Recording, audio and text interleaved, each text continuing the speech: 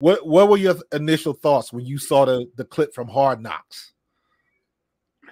Bro, I'm like, how does the organization let that come out? I mean, I understand you got NFL films and they want to make sure that they get the fan, you know, I'm saying exclusive, you know, stuff right then and there.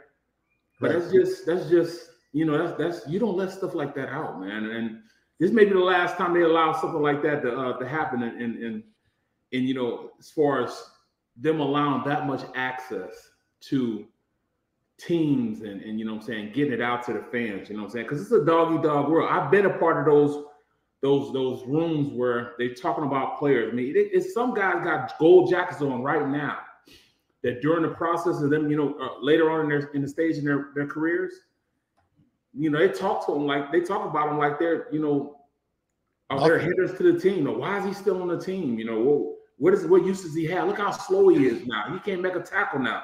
And I was really surprised. You know, these are guys that have been number one. You know what I'm saying? Like the the, the epitome of their position that they play in. And they talk about them, you know, and, and drag them through the dirt, man. You know, just being honest from what they see. And and I saw those things too. I saw right. those things. You know, I played against these guys. I, I, saw the decline in their in their in their play. But to say it the way they were saying it, man, it was crazy. So to give the public access like that, I didn't think they'd ever do it, but man, that's that's what it is, man. It's a dog eat dog world. It's, it's, it's definitely one of those things where they gave fans exactly what they do uh, behind closed doors.